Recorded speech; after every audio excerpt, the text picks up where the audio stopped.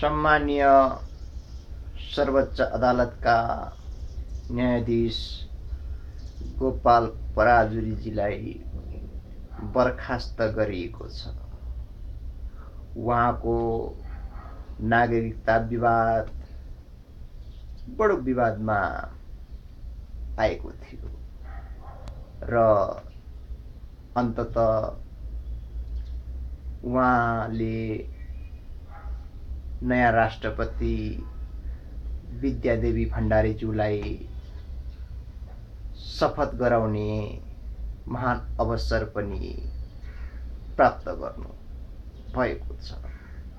भनेपछि समग्रमा उहाँ ठिक बेठिक आफ्नो ठाउँमा भए तापनि उहाँको कार्यकाल सफल नै मान्नुपर्छ।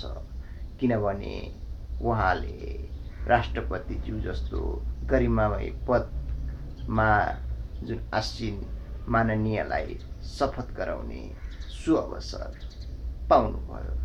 र म भन्न चाहन्छु जुन दुईवटा जुन नागरिकता छ त्यो जसले दियो उसलाई छानबिनको दायरामा ल्याउनुपर्छ।